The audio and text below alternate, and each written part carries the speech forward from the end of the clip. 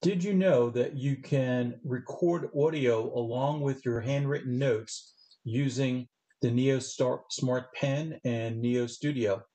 Let me show you how we do this. So I'm going to click on the top, the front, the, the dots, and I'm going to click on Start Recording.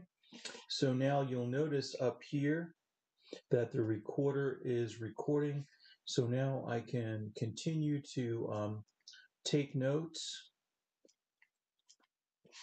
Or even I can, if I wanted to, draw a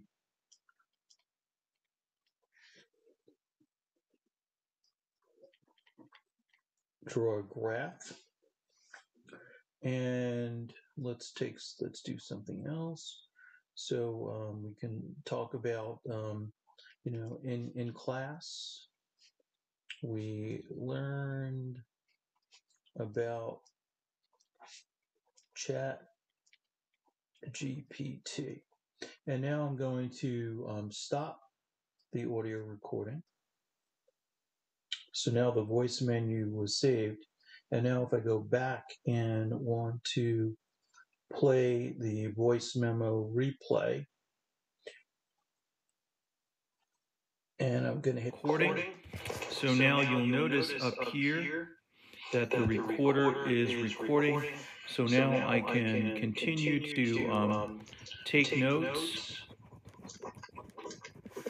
or even I can, I can if I wanted, wanted to, to.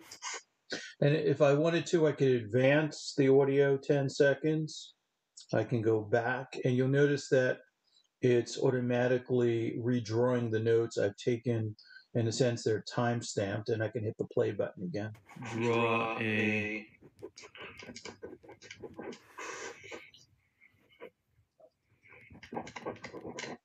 I'm going to go back to my note.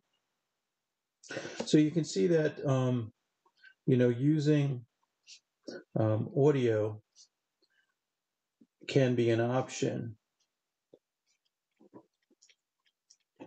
when using the uh, use, using the Neo Smart Pen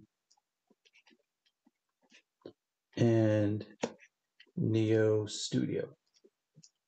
If you have any questions, please feel free to DM me.